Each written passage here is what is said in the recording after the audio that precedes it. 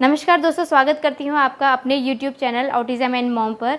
आ, जैसा कि आप सब लोग जानते हैं कि मेरा पाँच साल का बेटा है सात्विक आ, उसको ऑटिज़म है तो उसे छोटी छोटी चीज़ों में प्रॉब्लम होती हैं जैसे आ, कोई भी चीज़ उठाने में छोटी छोटी चीज़ उठाने में दिक्कत होती थी जिन्हें हम लोग फाइन मोटर्स ऑटिज़म में बोला जाता है कि फाइन मोटर्स की प्रॉब्लम है।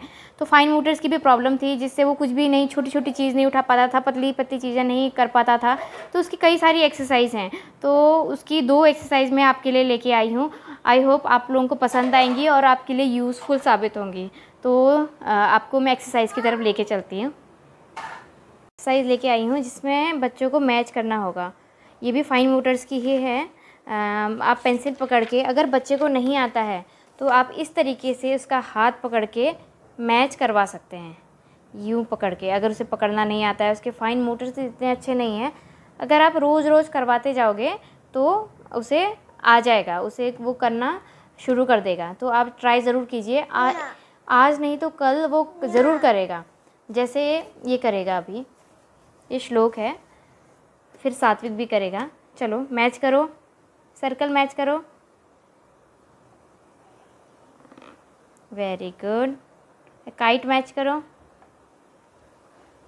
इस तरीके से आप मैच करवा सकते हैं।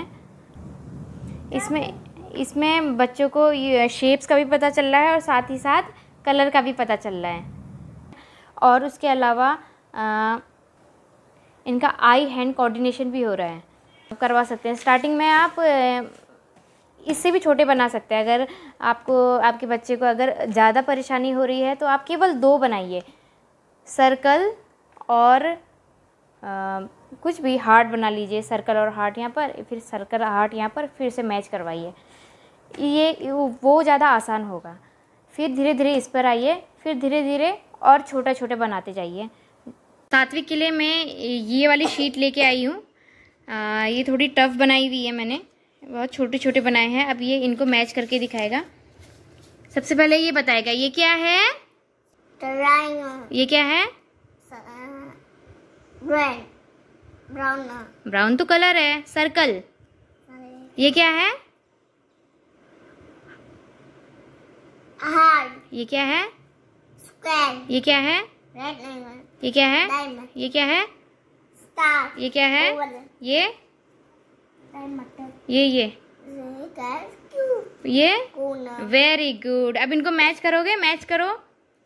आप छोटा छोटा बनाओगे और आई हैंड कोऑर्डिनेशन तो बहुत बढ़िया होगा इससे। देखो आप इसका आई हैंड कोऑर्डिनेशन आप खुद ही देख लीजिए।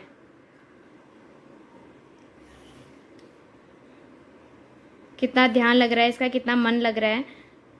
जितने भी फाइन मोटर स्किल्स की जितनी भी एक्सरसाइज होती है उसमें आई हैंड कोऑर्डिनेशन बहुत बढ़िया होता है। और अगर आप उसे जितना इंटरेस्टिंग बनाएँगे उनका आई हैंड कोऑर्डिनेशन उतना ही ज़्यादा बढ़ेगा। इससे बच्चे का आई कांटेक्ट भी बढ़ेगा। तो ये ज़रूर करवाइएगा।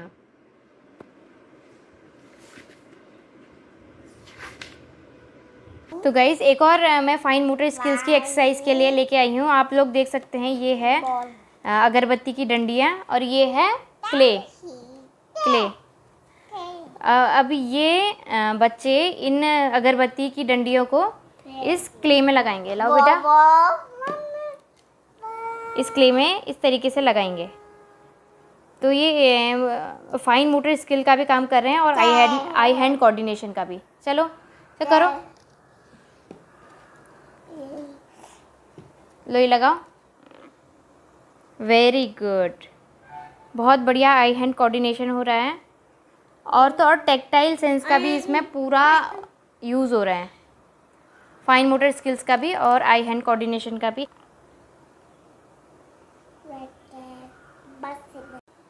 तो आप लोगों ने देखा कि कितने अच्छे से ये लोग कर रहे हैं। इनका मन भी लग रहा है। इनका आई हैंड कोऑर्डिनेशन भी बहुत बढ़िया है। और फाइन मोटर स्किल्स इससे बहुत अच्छे से इंक्रीज़ होगी। इससे क्या होगा कि बच्चे स्पून से खाना खा सकते हैं आ, कोई भी काम कर सकते हैं। और भी मैं आपको एक्सरसाइज दिखाऊँगी। लगाओ। वेरी गुड बहुत बढ़िया आई हैंड कोऑर्डिनेशन हो रहा है। और तो और टेक्टाइल सेंस का भी इसमें पूरा यूज़ हो रहा है। फाइन मोटर स्किल्स का भी और आई हैंड कोऑर्डिनेशन का भी।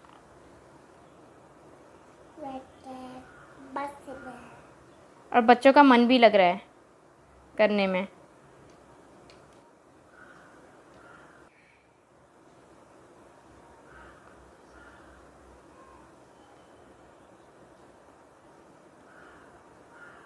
पहले नहीं कर पाता था, सात्विक श्लोक कर लेता था, लेकिन सात्विक नहीं कर पाता था। अब सात्विक ज़्यादा अच्छे से कर ले रहा है, बहुत अच्छे से ये पकड़ रहा है और इसमें लगा रहा है। लगाओ इसमें बेटा, लगाओ। इसमें लगाओ।